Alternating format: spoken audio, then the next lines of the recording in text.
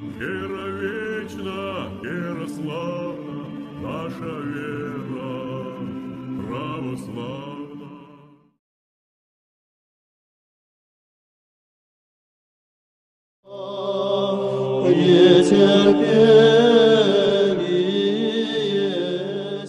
В Калуге по благословению владыки Климента изложены многие еретические взгляды. В частности, Ирий Михаил из храма Покрова Нарву говорит, что если поставить число 666 на правую руку или на лоб, но антихрист явно не придет и явно не скажет, что это моя сатанинская печать, берите, я сатанист, то это не будет печать, а будет просто числом 666, которое не имеет апокалиптического смысла и духовному здоровью не вредит вообще. При этом также утверждено, что если человек не принимает новый паспорт, не принимает ИНН и считает это грехом, вследствие чего не принимает всю эту документацию, то этот человек, безусловно, раскольник, и никакого общения с ним быть не может. Тем самым его фактически выкидывают из Калуши храма. Это кто так утверждает? Это утверждает Ирей Михаил из храма Покрова на Рву. В Калуге только именно. Кого он отлучил от храма? Иерей, м, Михаил. батюшка, нет, там есть второй батюшка, настоятель этого храма. Он отлучил раба Божию Эдуарда, который пришел заказывать записки со старым паспортом, на три года от храма, за то, что у него старый паспорт, и он не собирается его менять. Когда увидели просто у раба Божию Эдуарда в руках этот старый паспорт, они сказали, а вы не наш, вы раскольник. Тот же подошел батюшка настоятель храма и сказал ему, на три года отлучает храма, если ты не покаешься, не возьмешь новый паспорт. Вот. Он, естественно, не согласился взять новый. Отлучил. При этом же распространяется другое мнение через проректора э, Калужской духовной семинарии Архимандрита Никиту Ананьева, что якобы каноны можно нарушать, а догматы нельзя. И в вопросах святых э, соборов семи надо поступать так. Каждого святого отца можно слушать отдельно. То есть э, в ходе спора, если в чем-то есть разногласие, можно прислушиваться к любому мнению святого отца. Также архимандрит Никита учит поступать с вопросом об ИНН и паспортах. Вот был у нас архимандрит Крестьянкин, он, допустим, на тот момент благословил брать. И архимандрит Никита посчитал, что можно всех остальных старцев не слушать, а архимандрит Иоанна послушаться и при, э, присоединиться к его мнению. Потому что его мнение удобно для нас. Потому что его мнение удобно и для них, и для нас, и для всех. Значит, как, как говоришь, каноны можно нарушать, А так надо по усмотрению. так и говорит, посмотри. Да, по Ну усмотрению. вообще лихо. Вот сколько вам лет? 17. 17 лет. Вот смотрите, вы так вот грамотно все излагаете. Наверное, хорошо понимаете проблему, которая стоит у нас. Вот на ваш взгляд, чисто духовный ответ. Есть ли благодать на тех, кто принимает номерки и паспорта? Какая там может быть благодать? Она улетучилась ровно с того момента, когда эти люди сознательно стали говорить, ну мы приняли, и ничего не произошло. Когда эти люди говорили, что ой, как нам тяжело, может быть, отказаться, где бы нам найти батюшку, который нам помог. Да, может быть, еще вопрос о благодати тогда стоял. Но когда эти люди сознательно сказали, что мы не видим трех шестерках на паспорте три шестерки, мы не видим в числе 666 ничего, то тогда, безусловно, благодать их покинула. Это, наверное, однозначно. Дмитрий, а вот на ваш взгляд, меняются люди после принятия этих новых документов? Я бы это назвал даже изменением не только души человеческой, но и тела. Я заметил по своим родственникам, что после принятия ИНН они как бы оцифровываются сами. То есть структура тела человеческого меняется даже иногда. А вот разумом, как вот, есть вот изменение сознания? Вы Безусловно. Вот э, человек, даже если он против католиков или как-то там официально, не, ну, то есть держится в лоне церковного учения, все такое, только не дай Бог вас спросить по поводу паспорта ИНН. Начинается такая агрессия. Начинается разговор о том, что какие разница, католики там или все. Копская церковь хорошая, Григориане хорошие, все хорошие. Только плохие те, которые приняли старые паспорта и другим жить мешают. Не могут дать возможность нормально развиваться русской православной церкви. Для меня первая встреча с книгами отца Симеона была как шок, поскольку духовными вещами в храме вообще никто не занимался. Приходили просто на службы, там, э, помазаться, причаститься, и все. И казалось, что все отлично, все спасены, исповедуются.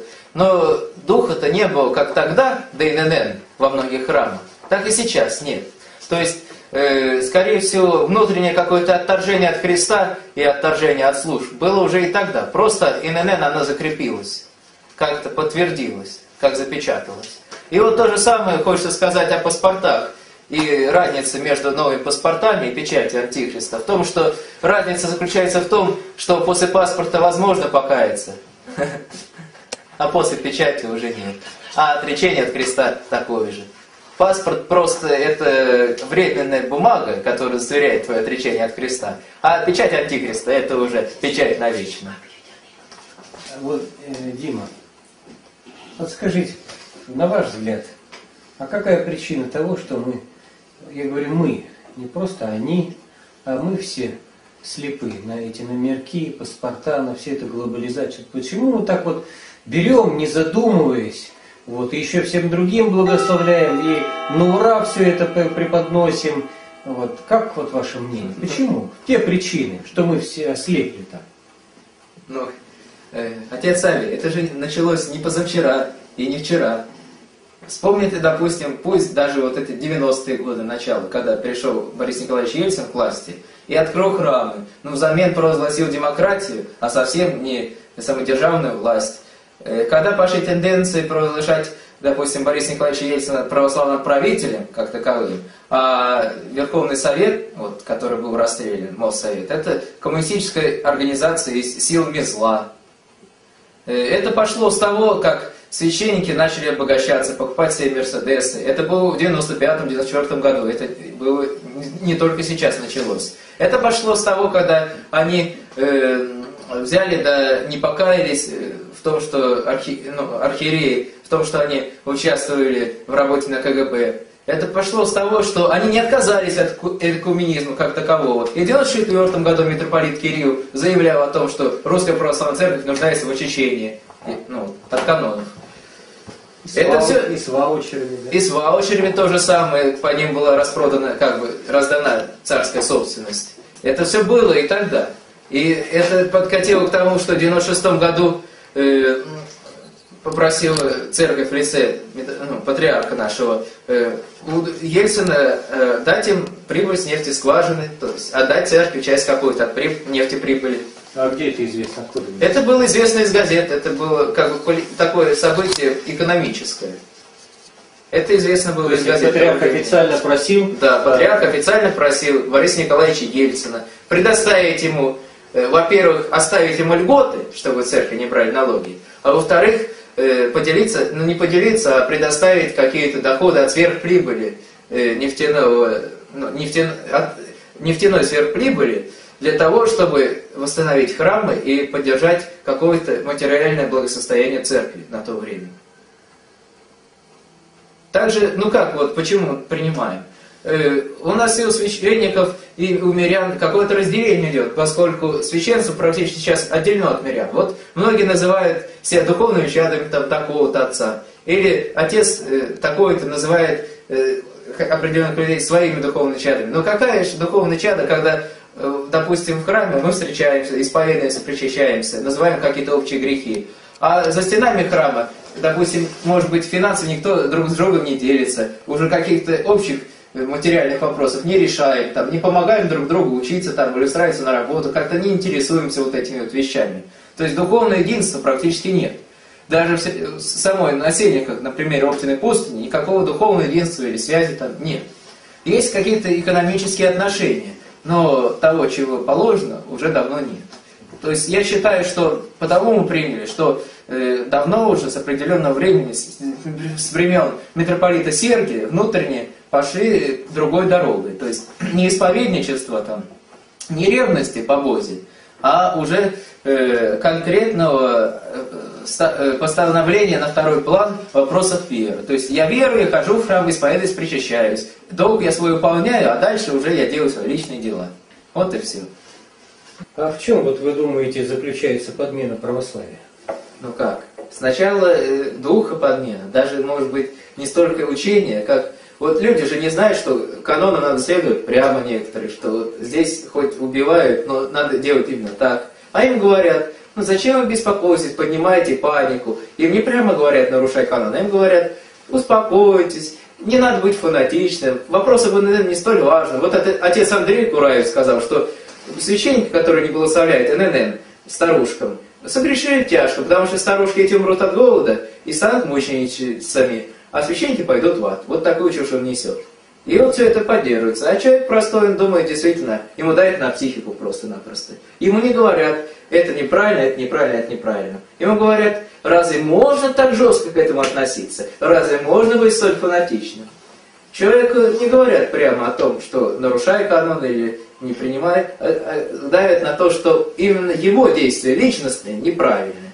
Вроде все общие действия должны быть правильные, то есть то, что он избирает этот путь, а его личные действия неправильные. То есть он и вроде бы и сам не антиглобалист, тот человек. То есть перед христианином ставится не выбор между Христом и миром, Да. а наоборот, выбор внутри какой- какой-то мирской проблемы. Да, Давайте да, да. помягче, зачем так да, жестко, да, да, именно. И тот, кто не готов, он действительно думает, а почему вот не помягче? А, видимо, действительно может что-то не так. Потому что уже личностный вопрос ставится. Не просто общественный взгляд, там, правильно это или неправильно. А это правильно, но ты это не исполняешь, ты такой грешный, поэтому бери. Все равно ты не такой, как нужно.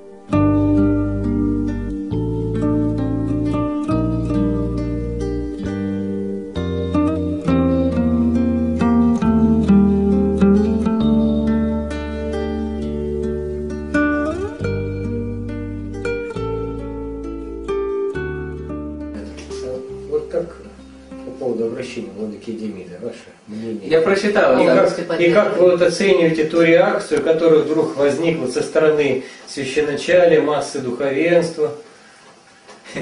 Ну, во-первых, насчет вот этого обращения.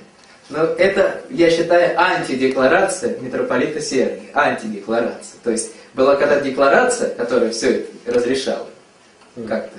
А это антидекларация, в которой настолько грамотно все прописано, что ни эмоций, ни каких-то посторонних элементов там нет. И этому даже нет места.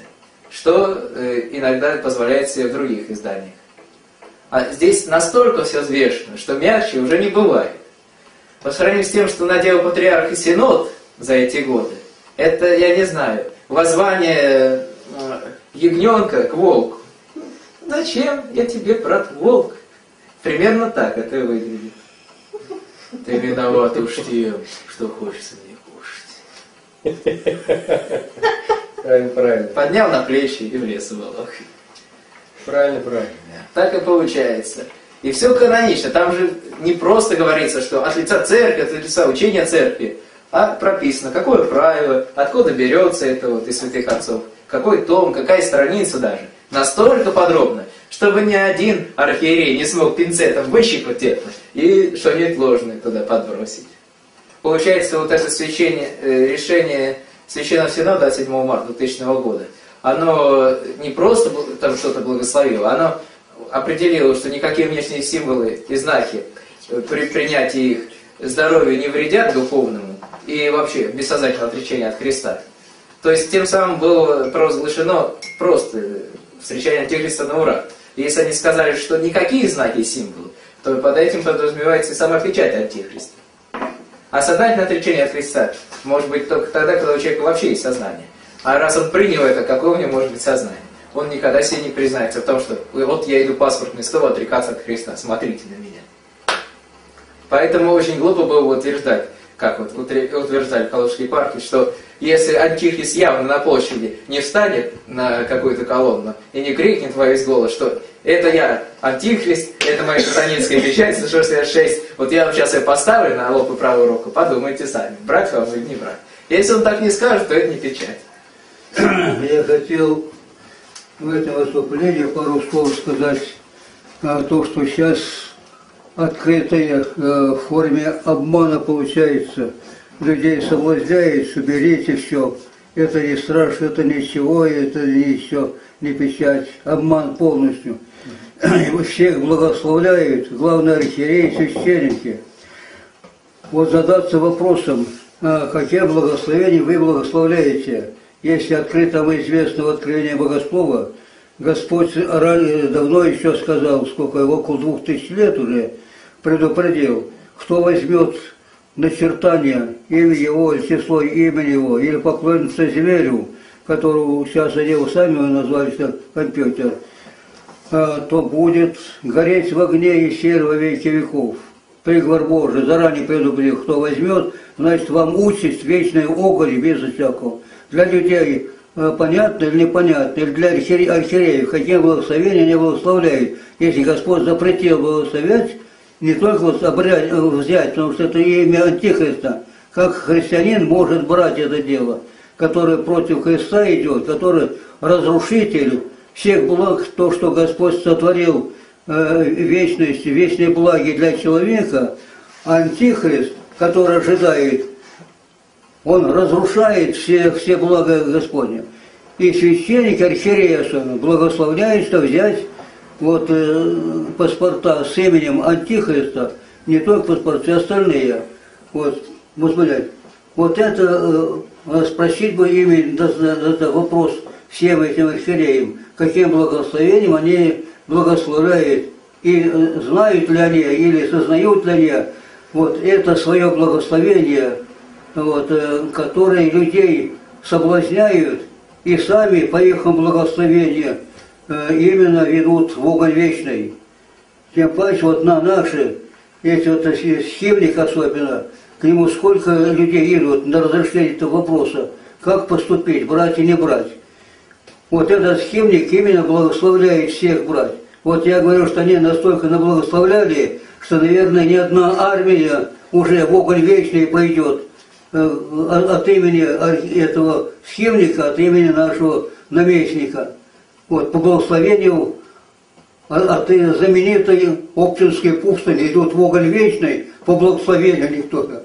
Вот предсказание царства, что особенно из городов больших уходить нужно, из-за того, что будет большое и сильное разрушение городов. Это одно. Вторая причина из городов уходить то, что вот это настигает не только новые паспорта, карточки, вся электронные, электронные, которые охватывает э, э, все человечество, вот, ум и сердце, полностью руководить будет человеком вот эта электроника. Поэтому от этого и именно рекомендует, э, что уходить э, в пустынные места, леса или отдаленные деревня, горы, что удалиться вот именно от этих вот э, новых документов э, от имени Антихриста от шестерки. Вот эта причина основная, чтобы не захватило. Ох, Господи. Так, ну, значит, батюшка, дорогой, я так вот думаю, что сейчас перед каждым из нас стоит выбор. Выбор – как э, восприять эту систему, которая на нас накатилась по попущение Божие? Если ее нельзя приостановить на государственном уровне, даже на семейном уровне нельзя, нельзя с ней бороться, потому что в каждой семье раскол э, по отношению, по взглядам, по восприятию, то лично каждый из нас не только имеет право, но и должен отказаться от этой системы. И раз она нас поглощает, раз она нас целиком опутывает, вот знаете как в патерике птичка аще коготком запуталась в сеть, вся погибла. То есть тело. Так вот и здесь мы также, если за что-то зацепимся, за номерок или за банкоматную там карточку, за пластиковую какую-либо карту, вот, ты, вся душа наша гибнет. Поэтому, когда система на нас накатывает и вот-вот стремится поглотить, что надо? Бежать от нее. Раз ее невозможно побороть, потому что это попущение Божие, от нее надо бежать. Вот как писал преподобный Ефрем Сирин. Скрываться где? В горах, в пещерах, пропастях земных, в ущельях. Вот так. Пока это в виде общин каких-то за чертой мегаполиса. А там как Бог даст. Если Господь попустит, гонения, испытания, лагерную жизнь. Ну что ж, не мы первые, дай Господи, не мы последние. Все вынесем с помощью Божией. Нам самое главное не предать Господа, не отступить от Него. А уж там Господь все подаст. На все его крепкая рука будет. На всех тех, кто небоязненно его исповедует, идет за ним, вслед за всеми новомучениками, за государем батюшкой, Господь всем даст подкрепление и силу свою божественную. И так мы будем спасать свои души в чине всех новомучеников российских и всех в тех, кто в эти последние времена, в антихристовые времена, хочет угодить Богу и спасти свою душу. Ну, а отчаяние места, конечно, не должно быть. Вот, знаете, многие говорят, ну что ты делаешь? Ты понимаешь, что, к чему ты людей призываешь? Ведь ты только подумай, что стоит за твоими этими предложениями. Ты же людей толкаешь на голодную смерть. Вот. И вообще, раз ты затеял все это дело, раз ты проповедуешь такие идеи, то э, где-то гарантия того, что все это сбудется, что ты выдержишь все эти испытания. Ты, может, в чем-то усомнишься и сразу погибнешь. Так вот, вы знаете, я вам так скажу. Господь, когда посылал апостолы проповедовать по всей Экумене римской, греко-римской, он не, не говорил, что будете жить в царских домах, что будете э, проповедовать, сидя на конях, что будете возносимы на щитах, окруженные воинами, там, телохранителями, что вам все дороги представят, дворцы и площадя для проповедей. Нет, он нам говорил, что посылаю вас как агнцев посреди волков. И вот апостолы, несмотря на то, что им было дано вот это обещание быть закланными за его имя, они шли с радостью на проповедь евангельскую, не думая о том, что когда-нибудь там Римская империя будет христианской, вот, что все цари, вельможи, все население постепенно обратится ко Христу, будет принимать святое крещение. У них задача стояла другая – спасти хотя бы одну душу. Они исполняли заповедь Божию, шли и проповедовали веру в Пресвятую Троицу, воплощенного Сына Божия.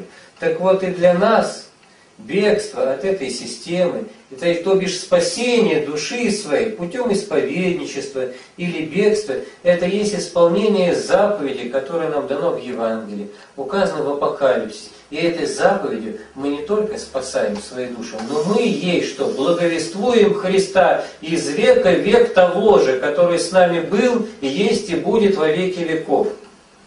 И когда люди окружающие будут видеть, что мы ради Христа это несем, и Христос нам помогает, мы своей жизнью опять будем продолжать то апостольское дело проповеди евангельской. И вся, кто от Бога, кто от истины, он будет вразумляться, будет отказываться от этой системы, от этих номерков и приходить к Богу, отвергая всю эту мерзость. Приходить и станет на что? На путь Голгофа. То есть с чего начиналось христианство, с Голгофы, тем оно и будет заканчиваться для каждой из нас. Для каждой из нас. И слава тебе, Господи, вот если мы избираем вот этот счастливый, радостный, тернистый и славный путь Христа Христова, дай это Бог, что всем нам пройти этим крестом, не убоявшись козней, соблазнов этого мира, не убоявшись, значит, э, э, надругательств над, над всеми нами, потому что и Господь был заушаем и биен, и Господь был как леветан и поругаем. Вот. И это дело Христова, воина любого, в любые времена, в любых обстоятельствах. И если такое совершается и поныне, то значит мы что идем? Верным путем. За Христом идем.